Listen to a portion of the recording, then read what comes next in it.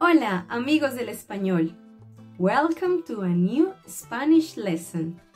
In this video, we are going to talk about the verb to be, which means in Spanish ser o estar, in simple present.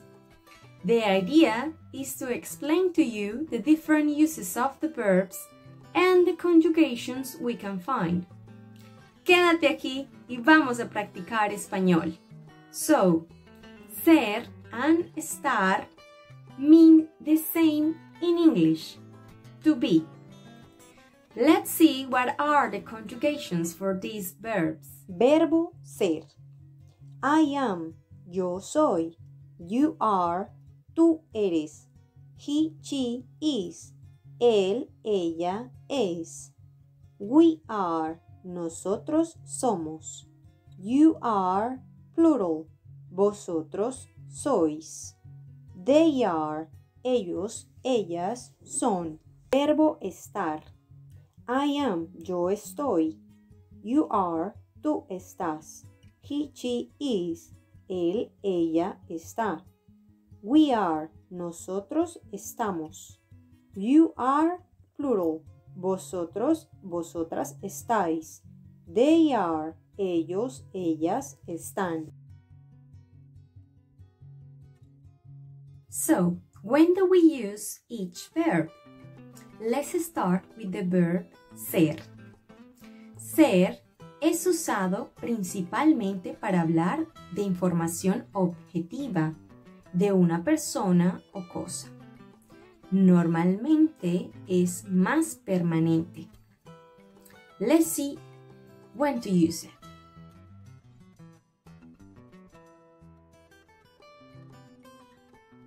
The verb ser is used to talk about description. When you say a name, yo soy Anny, ella es María. When you describe someone, ella es alta, yo soy pequeña. When you talk about the material of something, la mesa es de madera. Ser is also used to talk about occupation, work, or any activity that you do for living. Yo soy tutora de español. Tú eres ingeniero. Ella es camarera. Muy bien. So, ser is also used to talk about description of the personality of someone. Yo soy amable. Soy divertida. Ella es linda. We use ser to talk about time or specific moments. Son las 5 de la tarde. Hoy es lunes. We're talking about a specific date. is also used to describe the origin where something or someone is from. Example, yo soy de Colombia. Ella es de España. La ropa es de China. If you want to say if something belongs to someone, you can use ser. Ejemplo, las llaves son de María. Ese gato es de mi vecina.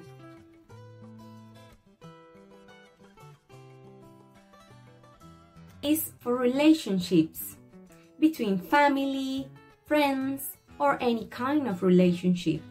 Example, yo soy hija de Lucía y Misael. Ella es mi prima. Él es mi tío. There are some other expressions where you use the verb ser.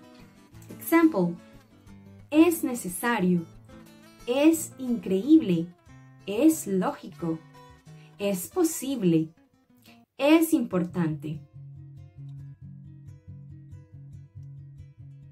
Now, let's talk about the verb estar. Estar se usa para hablar de estados que pueden cambiar y para localizar objetos o personas. Let's see the different examples when to use it. Talk about position of the body or any object. Example, yo estoy sentada. Ella está de pie. El vaso está sobre la Second, mesa. To refer a location.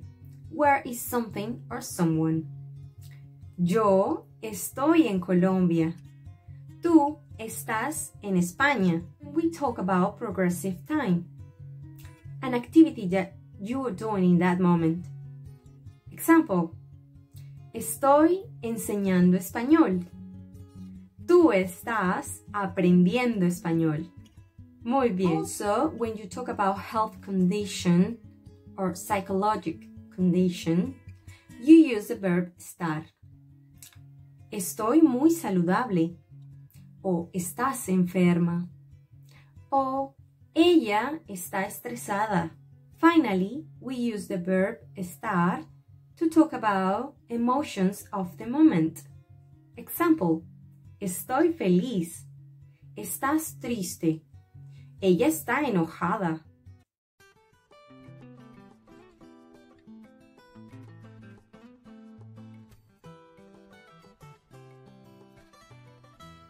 Here, I present you some typical mistakes that students have tendency to do using ser and estar.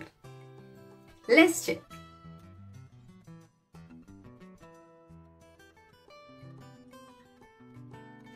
Now is your turn to practice.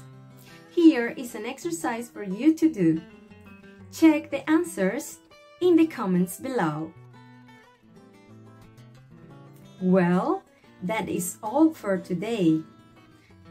Recuerda, es importante que practiques tu español. Estoy muy feliz de que veas este video. Thank you for watching. I hope you enjoy it. I see you the next time in the next lesson. Take care. Cuídate. Chao.